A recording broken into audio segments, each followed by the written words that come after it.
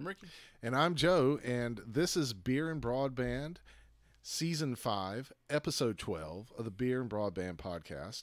As I screw that all up, but we're just going to keep rolling with it. It is slated to come out on October 10th, 2022. And today we're going to be talking about brewing for the most part, but uh, we uh, we made some meads. I made some meads, I should say. Ricky helps sometimes. Uh, so we made a uh, buckwheat bochet, which we're not going to try on this. We've already tried it in the past. I think most of the people that listen to this podcast know about the saga of the buckwheat bochet, but I'm talking about the stinky one, not the coffee one. So um, then I also made a candy corn mead that was based off of Man Made Mead's recipe, which um, I I thought was a lot of fun to make with. It basically, you just melt down candy corn and then add honey to it, uh, which is candy corn is already a honeyed candy anyway, so it has like some of those like kind of flavors and stuff like that. Then I back sweeten it, and then I made a blueberry hibiscus melomel. Now, not to get too far into this, but both the candy corn mead and the blueberry hibiscus melomel are 17% meads. I didn't intend for them to come out 17% meads, but they came out 17% meads, and they're both super clear. Uh, the blueberry melomel looks like brandy or something like that, like uh, mm-hmm. Ricky was talking about. I'm definitely making it again. I made three gallons. I've almost drank it all. I have like two uh, wine glass uh, wine bottles left, and then this tasting bottle, and then the candy corn mead. Um, it, I have just a gallon of it because I didn't know if I'd like to make it again. But I thought it would be like a fun fall like kind of thing. And since this is coming out around Halloween, it's also kind of a Halloweeny candy. Mm-hmm. So um, while I drink, you uh, yeah talk. So the blueberry hibiscus, very very good. Like I said, it's got great color, great smell. It's a little sweet, but not too sweet. There's a little bit of that floral and there's not even like a strong berry flavor. It's almost like the essence of blueberries. Yeah you know and we've talked in the past about how it's kind of hard to get berry flavors like directly like really forward because you know that's, mm-hmm. that's the sugar profile it's really good though like where most like means or most ciders that i make i will like drink by the glass you know i drink them more like i drew like drink a beer yeah this is very much in that like wine area yeah. of like i want like a two ounce pour of this that i'm gonna sip on for like an hour yep very very smooth very nice yeah I'm I'm not sure I'm ready to call it my favorite thing you've made, but it's definitely up there. It is in the consideration. Um, yeah, very nice. The candy corn one for me though, it's a it's good. Like it's brewed well. It's very smooth for its ABV, but it's just like a sweeter and thicker plain mead. Yeah. Like it's got this viscosity to it. It's almost like it's sticky. It's got a lot of sugar to it, at least in like in the flavor profile. I'm not sure I'd want like multiple bottles of just that, but I think it would make a really good base for like launching off into like some sort of fall mead or something like that. Yeah, I, I agree. I can taste because I know like what it was, what it kind of should taste like as like just the base mead by mm-hmm. itself because these were both made with wildflower mead. Um, I know what it should taste like if it was just made to be a traditional mead. Yeah, I can taste the difference, mm-hmm. but it is so subtle. And the the candy corn. So one of the problems with this was I burned a little bit of the candy corn on the bottom, and I thought that would come through the flavor, and it didn't. Like you can't tell the, yeah. the, the a little bit of the candy corn got burned on the bottom of the pot. But the the candy corn itself imparts this almost like kind of artificial flavor to it if if you're if you know what you're looking for yeah it's just like bit. a little hint in the very end mm-hmm. um and it's it's a it's an artificial kind of honey flavor right uh, otherwise it doesn't really i think i could make instead of making it with candy corn i could take the flavors the honey the vanilla the things that you're supposed to have in candy corn, mm-hmm. put them into this, and then put or put them into a mead, and then would have a candy corn mead that tasted like candy corn more than. Yeah, you probably could. I'll say what I actually like the most about it is the viscosity. Yeah. The only other mead I've had that's like more viscous than this was one we had when we went out to California, but it was just so sweet. Yeah. Like it was past dessert level to get all that sugar kind of to make it so thick. I don't know if maybe it's something in the candy corn, whatever thickening agent they use Mhm. that does this to it, but that's that's nice. That's why I'm thinking like this as a base, and then you put some other fall flavors into this, but it'll still have that viscosity that like stick to your tongue feeling. Like maybe Could some really good. cinnamon and some clove and some things like that, and then maybe like I was uh, thinking this that would actually be a really good base for some of the stuff you do with the pumpkin meads. yeah, You know, you put pumpkin in there, and this is this will get that closer to that like pumpkin pie flavor because it's got that like almost gooiness you get from that pumpkin. Well, I'm thinking about making another pumpkin mead. We could get a bag of, um, like another two gallon thing Mhm. of pumpkin mead. We could get another bag of candy corn and do it through the I same mean, process. In all honesty, it might be a good addition. okay, we, we can try that. I'm totally down with that. I'm I'm not. I, I was thinking of doing something similar, just like from Mm. a different kind of direction.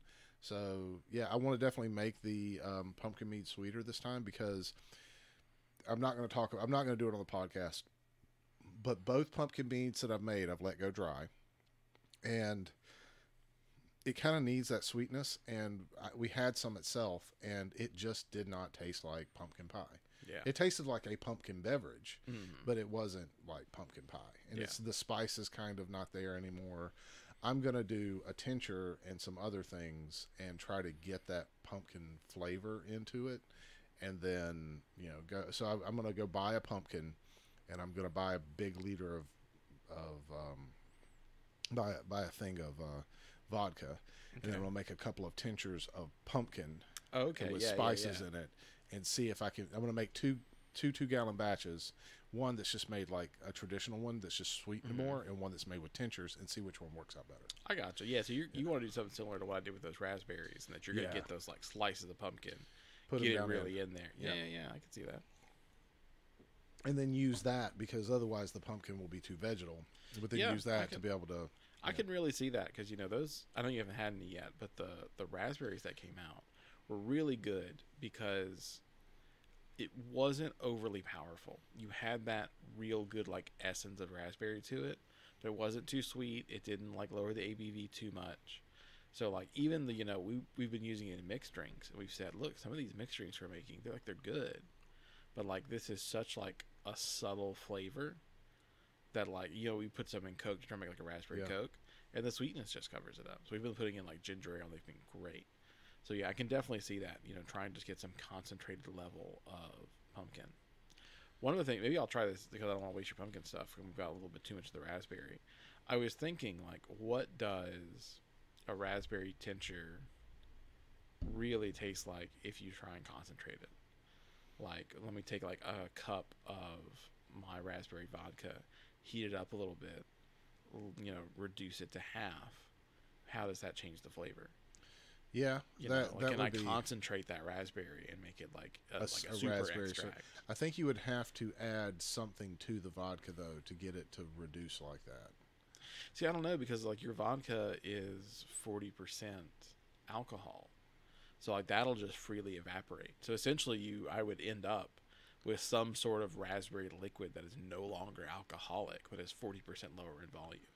I, I understand that, but what I'm saying is I think a lot of the flavor would get stripped out, so you need something to kind of hold on to it. So like you would have to add like a, a like make it a simple syrup or something like that. Maybe, yeah. That that's kind of what I was getting at. I don't know, like the obviously the ethanol will evaporate, but will whatever else is imparting that raspberry flavor evaporate? I'm I- not sure what that, I chemical think it. I, th- is. I think there's a there's a high possibility that it will strip some of that out. Okay.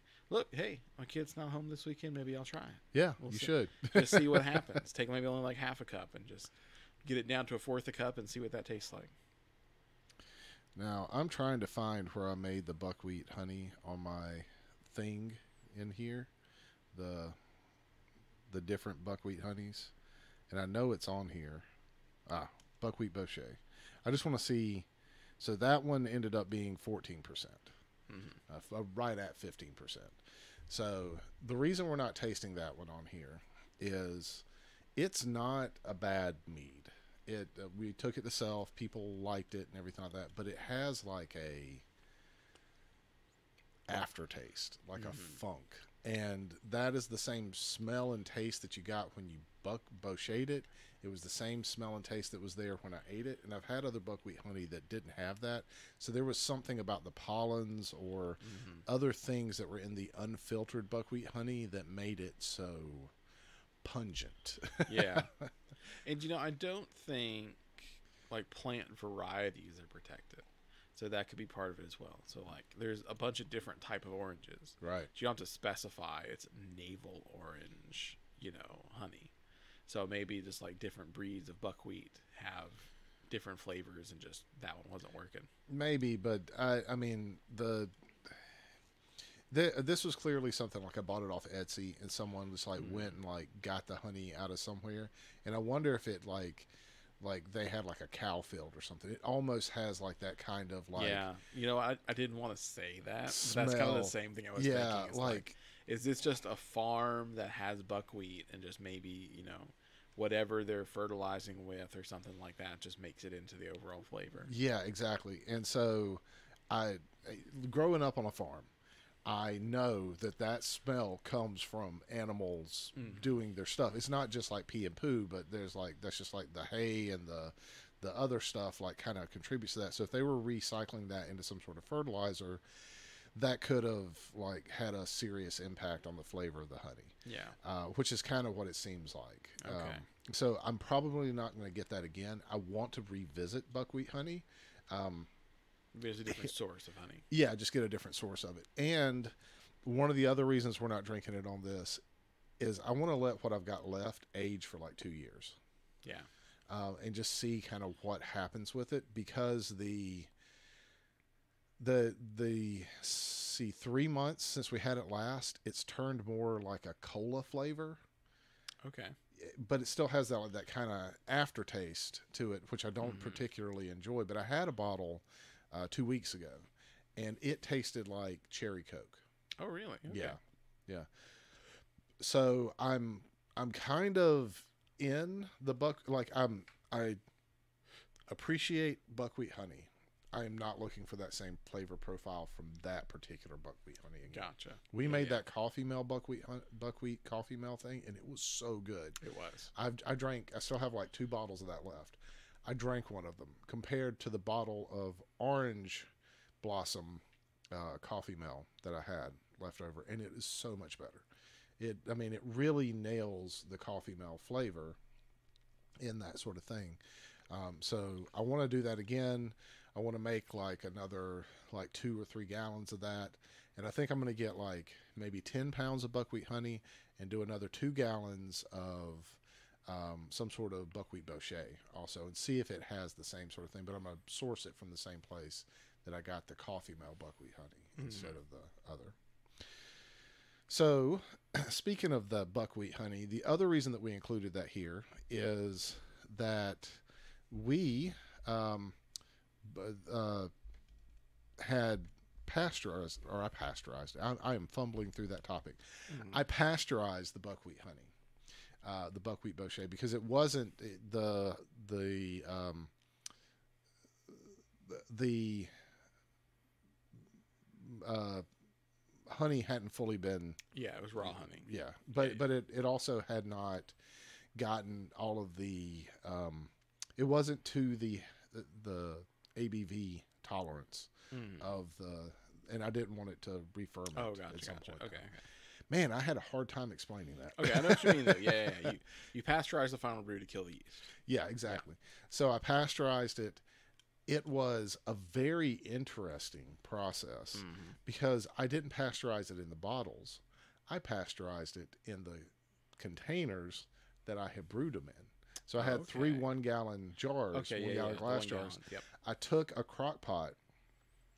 You know, I put the the Mm. lids just kind of loosely on so it wouldn't build any pressure or boil Yeah. or anything like that. And I let I got the water up to 156, set that down inside on a little stand, mm-hmm. and just let it sit there for like 15 minutes. Took it out, and you know went to the next one, the next one, Yeah. the next one, and then I bottled them Mhm. after that. Like after they cooled off. Uh, so like I let it sit for another week. I found that to be much easier than trying to pasteurize, like doing a, a sealed bottle or Mhm. something like Yeah, after yeah. I'd bottled it. Um, and I didn't worry so much about there being contamination or water that got down in it because I was able to, uh, you know, kind of still cover it up. Yep. Um, but the steam that might fall back down in it was so little, it because it wasn't that that hot. It wasn't like boiling or Yeah. anything like that. So So, and this is not a critique; it's a legitimate question. What made you decide to do like to pasteurize it instead of putting in something like potassium sorbate or Campden or something to kill these? because I'd only done it in bottles before, and this was the perfect opportunity for me to do it. Gotcha. And if I screwed it up, I, I didn't love the taste of it, so I wouldn't be so hurt. gotcha, gotcha, gotcha. Okay, okay. Yeah. That's very valid. Yeah. So like I brought that brew with us. I was super excited about just like having it, but it, you know, to self and we all tried it and did it, but it wasn't like the best thing I've ever done. Uh, Mhm. there there were a couple other ones that I brought to self that were Very much popular. better. Yeah. That banana one was very popular. Oh yeah. that that one was much better. Um but yeah, so um it, it just was a, a thing there. Uh, but pasteurizing is a very valid process for Oh, being able to do a lot of really cool things with your brews. And I had not done it. So I think I might get a, like a pasteurization setup, like Mm-hmm. using a cooler and be able to set some bottles down inside of it with hot water Mhm. and um, using some some of the techniques that I know how to do, you know, siphon that water in so it's not like a shock to the stuff and everything else like that. Yeah, I mean, I haven't done it obviously, uh, but I also haven't heard anyone talking about it from this direction. You'd think get yourself like a small little sous vide setup or something, and that'd be perfect for it. It That's slowly exactly what I'm talking about doing. Yeah, yeah. But so you need something that's got either insulated walls or like is a certain like kind of thing, and then you put a bottle that's at the same room temperature and with liquid in the center so that you know when the temperature of the liquid in the bottles that are capped Mhm. get to that that like kind of point where Yeah. they're they're pasteurized. So like I've seen how to do it. I want to do it with a uh, like a two gallon um, igloo cooler or something like Yeah, yeah. that, or do it in a cooler. But yeah, I, I want to use a sous vide to do it to keep it at the constant temperature. yeah, that seems like that would work perfect. Yeah, I think it would. And everybody that I've seen that does it does it really great. And you can get a sous vide for like 100, 150 bucks. So Mhm. And it's multi-purpose, right? You're Like you're not buying something special just for brewing. You can use that just for your regular cooking repertoire. yeah, exactly. Make steaks, all sorts of stuff like Mhm. that. That I really want to get into sous vide cooking and doing some stuff like that. So I think this would be like a fun way to do it. And you could, I mean, I wouldn't have to do it in an igloo cooler, so I may not do it. And I'm not thinking of one of the rounds, round ones. I'm Yeah, thinking yeah. of like a long Mm-hmm. one that I could put the sous vide down inside and then, you know, just shut the top and let them do their thing until it gets to the point that I'm like happy and then, Yeah. you know, everything's good. And if it, one of them explodes, don't have to worry about it. Exactly. so, um, yeah, we, you know, that'd be a fun experiment for us to do. The next time I'm going to like pasteurize something like once I've Mhm. got it, like maybe I'll sweeten something with honey or sugar and want to carbonate it. So we'll bottle it a little early, get natural pedalants in it, Mhm. and then, you know, do the thing. And maybe I'll keep them in that container in case one of them explodes. Like do a small one or two gallon Yeah. batch like that. Yeah, well, that's an interesting point with the carbonation, right? Because a, a warm liquid cannot hold as much carbonation as cold liquid. So, like, when you pasteurize it, how much of that carbonation are you going to lose just from it heating up if you're not going to, like, keep it completely sealed? So that would be like, Well, you would keep them sealed. That's how you keep the carbonation from losing. yeah, so you like- bottle and seal, and Mhm. then and and this is the thing that I've seen people do. So I've never done this before. okay, But basically, you bottle and sealed. You let them go for whatever your carbonation period is, if you're naturally Mhm. carbonating, two three weeks, and then once you're sure that they're carbonated, or you feel like it's at that point, you put them in the thing, and then you run your pasteurization process, and that kills your yeast. gotcha. Yeah, yeah. I just earlier when you were talking about, you said you were like left the lid slightly ajar, but you're saying for carbonated, you would keep them sealed. You would keep them sealed, and I did that in the um, the brew vessel. the brew vessel Yeah. because the brew vessel's not designed to contain that sort of thing. I didn't want it to Mhm. crack, so Yep, I I kept get the you. lid ajar just in case it started boiling or something, which I didn't want it to. But it wasn't that bad, and I mean, like for the most part, I could just take a minute out. Yeah, and like with sous vide, you never have to worry about boiling over because again, you Exactly. control it. Just set it to 180 or whatever Yep. the, the temperature you want. It'll never boil. It'll never do any of that. Do it for like an hour and then you're good. Mhm. You know. So let's talk about Tosna 3.0. All right. So we've Fill talked about Tosna methods before, and you, Tosna 2, 2.5, 2, 3.0, they're kind of similar. There's just slightly different ratios and a couple of other Mhm. like me- so someone that's really into the Tosna stuff will tell me no, it's completely different, and this one is used for this and this one. But from a outsider looking in, I'm not. Mhm. I'm just kind of learning about this right now. Um, it's a uh, fermentation nutrient scheduling methodology. And there's a couple of different ones, but I use this for the candy corn mead. Mhm. I used it for the blueberry uh, hibiscus uh, mead that I made, the melomel, and I used it for the buckwheat bochet. And all of them came out clear. All of them came out drinkable within a year. I mean, Mhm. this is less than a year old. Yeah. Um, uh, both of these are, and they came out very um, quick fermentations. You know, for the most part, there's not like some sort of crazy Yeah, they're very efficient. yeah. Um, so and and I feel like the yeast didn't get super stressed, like happens in some of our other brews, some of our new our our younger brews. It took like four or five months for that stress Mhm. off flavor to get out of there. So this is just more of me saying, if you haven't tried a Tosna calculator, because they, I mean, basically you just put in what your batch is, and then it tells you how many grams or ounces to use of Fermaid O, Fermaid K, um, when you can put DAP in, stuff like that. Because you're you're supposed to. This isn't something that I knew. I was just using DAP as my um, my um, uh, nutrient base Mhm. the the whole time. And so when I did other Do- Tosna calculations, I think I was using 2.0. When I was using that, um, I would use DAP the whole time. But you're not supposed to use DAP. Okay. You're supposed to use DAP only at the beginning if you're going to use it, and then you use something like Fermaid K or Fermaid O towards the end because the diammonium phosphate, the uric acid, Mhm. is bad for yeast as they. Yeah. get get further in. So I didn't know all that. I didn't know all that at first. The things you Gotcha. learn. So it sounds like they're probably good for nutrients, but bad for reproduction. So you put it in the beginning to kind of help wake everything up, but you don't want it at the end when they're all multiplying. Yeah, the it's something about the release of oxygen and nitrogen balance Mhm. that uh, is really good at the beginning, and I don't understand it fully. I didn't do all the research. I just know that people say you're not supposed to use DAP at the end, and it, and the little bit of research I did um, and reading on it, you know, led me to understand that it has to do with the nox with the o- oxygen nitrogen balance that is created at the beginning. I could be wrong about Gotcha. that.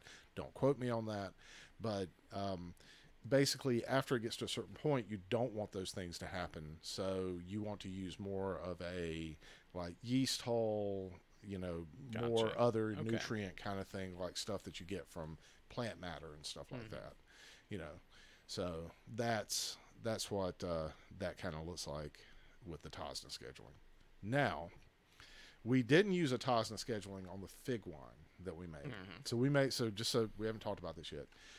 In the break, Ricky and I got together. He had figs. Ricky had wonderful fig children that we sacrificed to the wine gods. And Because we had too many. Three of the trees in my yard turn out to be fig trees, and there were hundreds. So many. And you froze some because I was like, oh, I know about fig wine, and fig wine is great. So we just decided we were going to do it. Uh, and we started off with using like uh, uh, fig butter. Yeah, we used the products of me trying to keep up with three fig trees, Yep. butter and jam that were. I mean, that's still decent. It's like twenty ounces. Yep. You know, it was a lot, and we still had like three or four pounds of frozen. Yeah. So we used frozen in secondary. Mm. Um, well, no, it's still technically in primary because we didn't. We it, even though we racked it to the other thing, we did a a rough rack where we re-swirled Mhm. the the yeast. So we racked it to a, another vessel, but we put the fig and um, everything else in it, and we added more honey to make it sweeter. So it's like a 13, 14 percent, you know, ABV thing. I think right now it's like at 12 Mhm. because it's um, eight through like one point one or uh, ten points of gravity, um, and so we're looking at you know a a, a pretty eff- a well done uh, fig mead here, but we didn't use the Tosna methodology for it. So I intentionally didn't do that because it had so much nutrients in it. I want to see if we needed to use Tosna yeah. for it. Yeah, I can I can see that because really, you know, we're using pomegranate juice to help bring some darkness to it, and then just a bunch of plant matter. Yeah. I mean, it's it's not that dissimilar of like if you were gonna make a cider, you use some apple juice, but then just throw like 20, 30 apples in there. Yep. So you're right, and like in theory, it should have nutrients for days. So like, how does that really affect it if you're in a, already in a high nutrient environment? Exactly. So um, we're going to see how that ends up out at, at the end. So far, uh, it did ferment a little bit more. It's probably at the yeast tolerance, we think. So we, we tested that this morning. Tastes really good. A little Yeah. young, but it's Mhm. pretty fantastic. I'm looking forward to seeing how that. Yeah, that'll up- age really well. Yeah, once we uh, once we rack it over, I think we should oak it. I think that'll be like the next thing to do. And uh, we could like do a little bit of an experiment since we have two gallons. We could divide it up between two one gallon jars Yeah, and that's true. like do some different things to each side of it, so we know exactly what recipe we want next year Mhm. when you get more turkey figs. Yeah. when I don't eat, try and eat a hundred of them in two days to, to keep up. Ah man, but figs are so good. I also was thinking about this. Uh, since we're doing a brewing episode, we have a couple of minutes. Cantaloupe wine. Mhm. All right. So I I know that people make cantaloupe beers, like melon beers. Yep. So I I was eating a cantaloupe the other day and I was just kind of thinking about like what is this kind of could we make a like cider wine kind of thing out of cantaloupe or maybe like honeydew and cantaloupe Mhm. together? That would be really good, I think. Like something that's kind of like a crisp session mead Yep. kind of I could thing definitely see something like that. or a session wine kind of thing, you know, lower ABV but Mhm. like really intense cantaloupe yeah, I was flavor. thinking that same thing. You know, it, once you start trying to hit those high ABVs, you're gonna be extracting so much sugar. It's probably gonna be hard to get that melon across. Yeah. But aim for like a five or six percent. I mean, I'm using this as an example of this has blueberry flavor, has hibiscus flavor. It's definitely got the spices and the vanilla in there Yeah, that I was that- going for. That's also kind of my point. It doesn't taste like you're biting into blueberries and hibiscus. It's got those like essences. yes. And the essences are nice, but it needs those other spices. Like if that Yeah. was just the blueberry, that wouldn't taste that great because it's all those other things coming to the plate that make everything stand out. Whereas if you want like a really melon forward something, it's probably like a ton of melon. Only let it get to like five six percent, and then leave a lot more of those natural sugars in, which there already aren't a lot in melon. Yeah. But I think you can get that. I, I don't know how to describe it other than that sliminess like that kind of like wetness that comes with the melon that still Yeah. that sweetness because i think that's where the real flavor is like i feel if you took like cantaloupe flavor and put it in like something that wasn't kind of like that that moistness Mhm. It wouldn't taste as good you know yeah, I I mean, I don't know that I agree with that, but I can see where you're coming from there. I think I think what I would probably be looking more for is the slight cantaloupe flavor that you kind of get um, if you were to like do like a cantaloupe puree or something like that. that so okay An example that that I'm thinking about is like um, uh, summer squash. Mhm. If you take that and you make a, a like a, a- a stew with it or something like that, um, it's such a wonderful stew, stew. But the flavor, it like gives it a thickness. It's kind of like healthier for you, like all this other stuff. Mhm. But then when you when you take the stew in, the flavor of it is it, it's like this very sweet flavor, and then you get this like hint at the back end of the squash. yeah i see what you're saying Yeah, and so that's kind of what I have in my mind okay for this like wine thing that we're talking about making. then yeah here. then i think you're right if if you're thinking about it in that realm then kind of how we did the blueberry yeah, probably makes the most sense because you really you just want that essence of melon to it yeah. and not to necessarily be like really melon forward But I think we could probably do two if we got like I mean we could probably get like two things of cantaloupe, you know, put one cantaloupe like puree one cantaloupe, uh, put some pectic enzyme on it, do some other things, maybe roast the other cantaloupe, and then take the cantaloupe and maybe take the peel and put it into a tincture, so you get some of the like that like green part that's in the back, so you get some of that because that's got a little bit of bitterness and Yeah. everything like that, and then at the end put that in like secondary. Mhm. And see how that takes in one, and then see how the other one, the puree, does in the other. Yeah, the touch on the secondary is a good point. I was thinking, what would happen if you made like just a good base alcohol with your spices and your other things, and then you put the cantaloupe in it, let that sit for a couple days, puree it out, then filter it. Yeah, the idea that you're kind of like almost doing the same thing you do with like a tincture. You're just using that alcohol as a solvent to extract all that flavor, really cutting it up fine so it all diffuses, but then taking all that pulp out. Yeah, yeah. I uh, kind of thinking the same way with Mm-hmm. the with the uh, puree. I was thinking, you take a puree, you make the puree, and then you put that into a bag, like a Yeah. like a nut milk bag, and then you set that down in like a thing of vodka or something. Mm. Let that extract all of that cantaloupe flavor. Or you could even just put it in your brew and see if Yeah. it, like the, uh, the at that alcohol point, in the you know, brew will yeah. extract the flavor Yeah, exactly. yeah so that you know something like that and then that kind of becomes your tincture that versus making a like roasted cantaloupe like kind of thing and and then having like a tincture of your spices and your tannins from the like peel or Mhm. not it's it's not the peel it's that green part the part that's almost like into the pith Yeah, what the you're saying. cantaloupe? Yeah, like you take that and whatever spices you're Yeah. going to use, which probably be like cardamom, maybe pepper, maybe you might even put a little bit of salt into it, Mm. you know, to to get that kind of like yeah, and that would that should out. work fine because you know that that piece of the rind is very like cucumber esque. exactly. So like that's got its own flavors. That's I mean it's great for stuff for cooking. I actually had Yeah. um, someone made like watermelon rind pickles that were really good. Hmm. You know, so I, I can definitely see it. Well, I think that's everything though for today. Th- This was an extra long episode, thirty six Yeah, minutes. We're rambling. we're rambling about the brews now. Yeah, Sneak this peek into next season. Brew episode major spoilers. Don't listen to this one if you're wanting to, to keep what's happening next season under wraps. Everyone loved the late spoiler warnings. That's uh, that's what I do. I, I spoil things and then I'm like spoilers. Um, yeah. So this has been season five, episode twelve of the Beer and Broadband podcast. Thank you so much for listening, and we'll catch you next time.